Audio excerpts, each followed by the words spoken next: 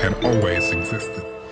Uh, yeah, this is this is a funny picture. I mean, uh, I had to bring my girlfriend to a job interview, and I and she told me to wait there to uh, until she was done. So uh, it was back when Fortnite released on the Nintendo Switch, and I had it with me, and I thought it would be fun to to play uh, while waiting.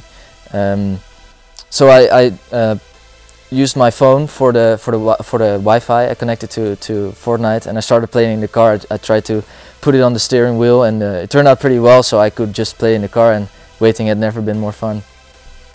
Yeah, this is this is definitely a cool one. I mean, um, it was back when Chesto invited me to play on on one of his events in my hometown, Breda. Uh, he's from Breda, and I'm as well, as well as all the other DJs who were playing there. Um, so they put on posters in the city, all over the city, and it was really cool to see my name all over the city. So I, I went to one and I uh, made this picture. It's a really cool one. Yeah, it, was a really fun one. Um, with the, the swag team, my management, uh, we uh, we hired um, someone to learn us or teach us how to create cigars, and uh, it was it was with the team like Koen, Dirty, um, Koen Tweekaz, our driver, and Sub-Zero Project, and me. Um, we all made some cigars, and she taught us how to make them, and some really weird ones turned up, and some other cool ones. It was a it was a fun time. Yeah, this this was the first time where uh, where uh, Hardwell came to my studio, and we started working on the uh, remix for "Don't Let Me Down."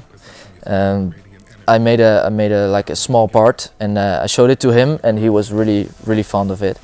Um, so he was like, "Oh yeah, I'll, I will come to your studio to um, to work on the track." And it, of course, it was just my bedroom studio, so it was really awesome to see an artist like him come to my studio, like the bedroom studio, and to create the "Don't Let Me Down" remix. But we finished it really quickly after that, and uh, I'm still very happy about the result.